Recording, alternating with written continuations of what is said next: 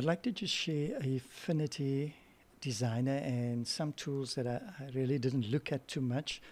And when I found them, that I, they actually changed quite a bit of my uh, workflow and speeded up things quite a bit. Usually, when I opened up a pixel-based image, so let's say we're taking this image, which is a raw file, it's just bringing it into Affinity Designer.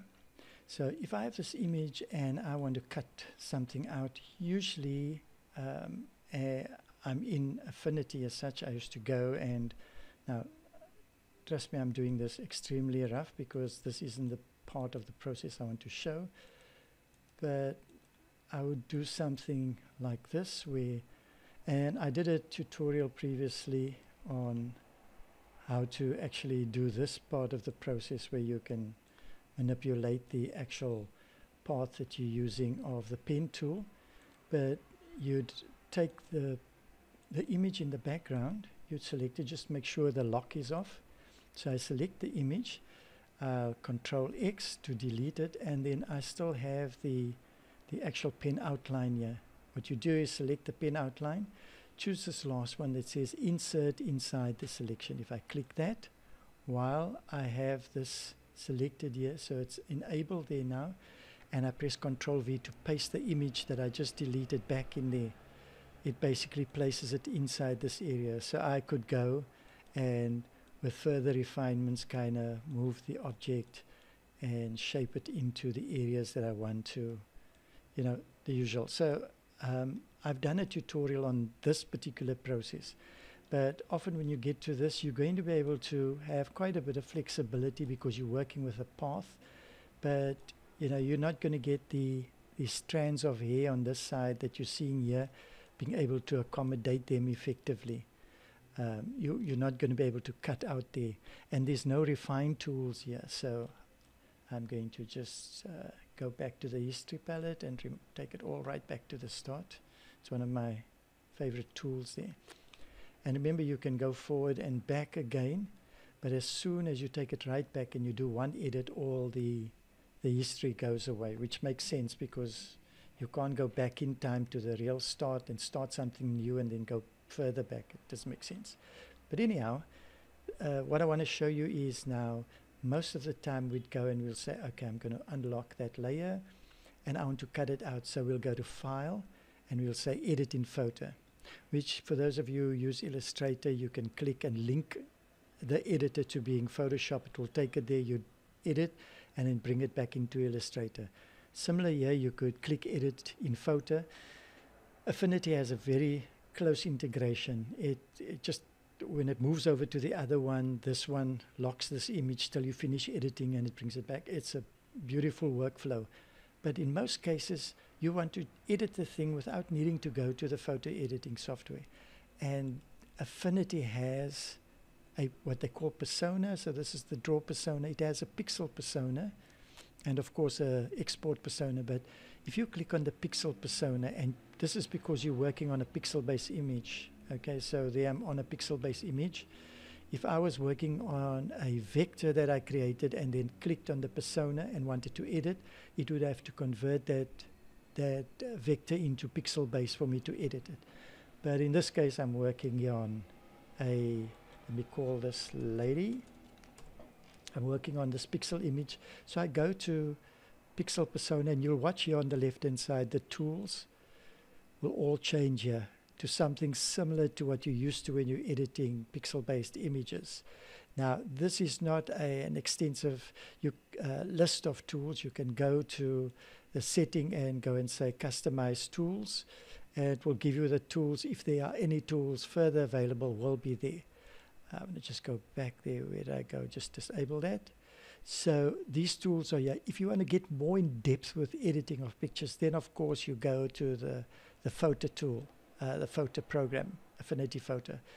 But 60, 70, 80 percent of my work I can actually do coming to this pixel persona. So I can go and do selections, I can do smudging, I can do sharpening, the the usual sort of quick tools that you want to use.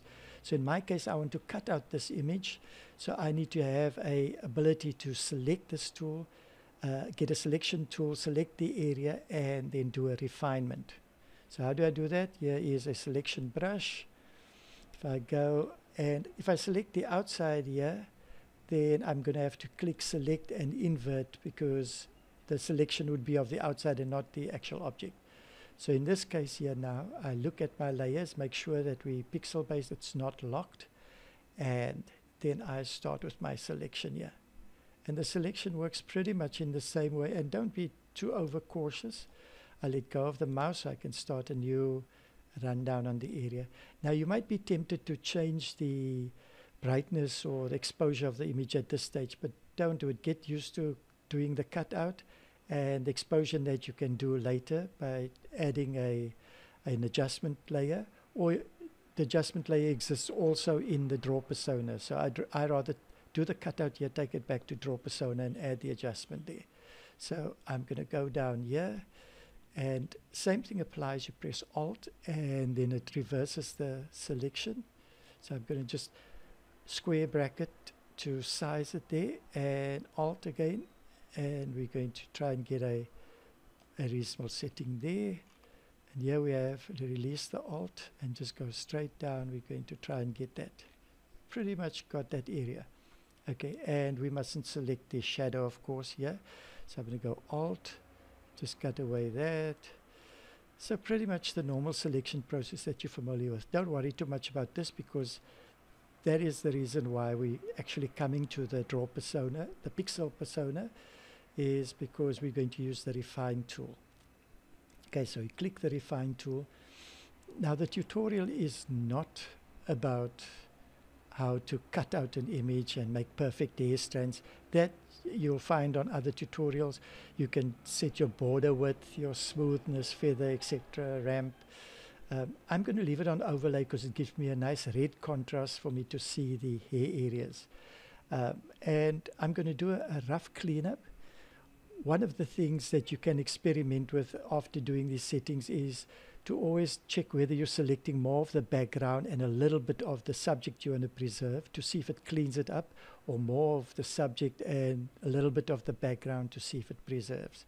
So in this case now I am going to make a square bracket and I want this white area between the head to be removed.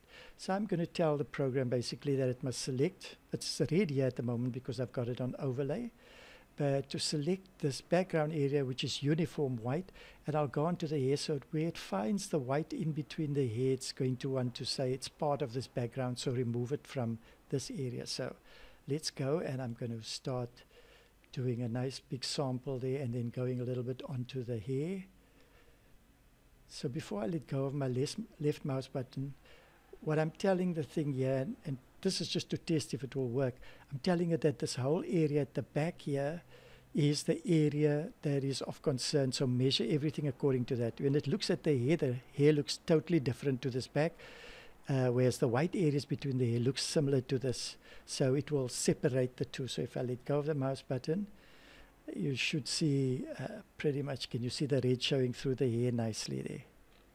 Uh, how I take it from here, I'll go to selections and say create a new layer with a mask. So it's going to create this object with a mask, etc.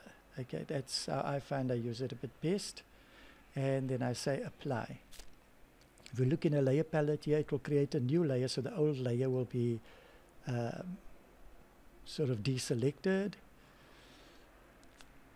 Busy processing. So this old layer has been deselected. If I switch it on, you can see it's there. So there we have the object with, with a cutout. So at this stage here now you can go and add an adjustment layer. But what I would do is take it back into my draw persona. So if I click on draw persona, boom, there it's back. That whole thing is back there. So I haven't even taken it out of this program to another pixel edit program like uh, Affinity Photo or into Photoshop. Having said that, I repeat myself, if you are going to do intense editing with lots of effects and everything like that, then it makes sense to take it to the photo edit program.